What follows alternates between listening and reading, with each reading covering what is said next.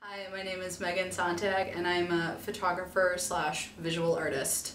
Uh, that's going to encompass a lot of things. This weekend we did makeup, we did set design, we did hair, we did art direction, many things. Um, we concentrated a lot on creating something out of nothing.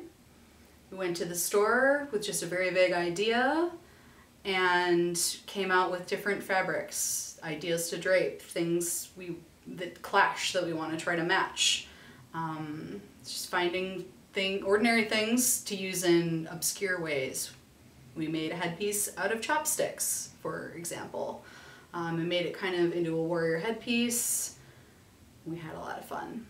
Uh, it means a lot to be able to creatively expel energy with other people that are of the same mindset, uh, that have positive attitudes, and are on that same wavelength. We have all individually discovered that when you're around people that bring your energy down, that are depleting of your positivity, that it can legitimately wreck your life. and the sooner you're able to get away from those people and those bad vibes, every, every all your vibrations, all of your mood, it comes up.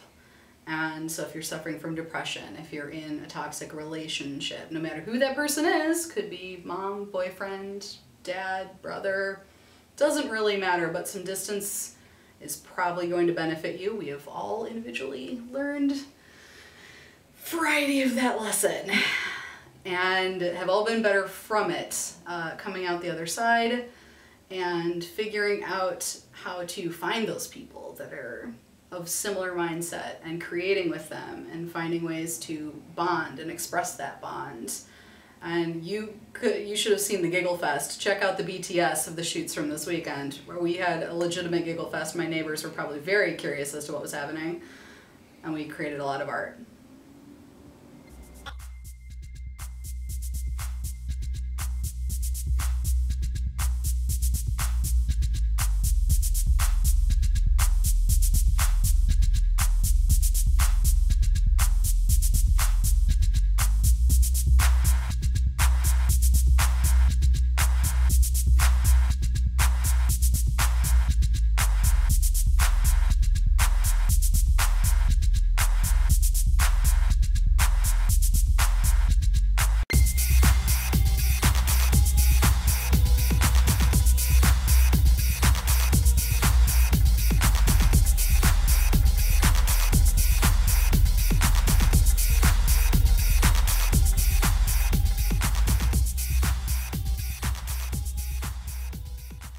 Stay tuned for the next episode of Punches of Pink.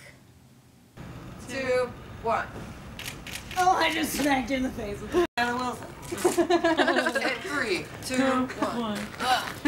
And we're live from Saturday night. No, wait, Sunday night.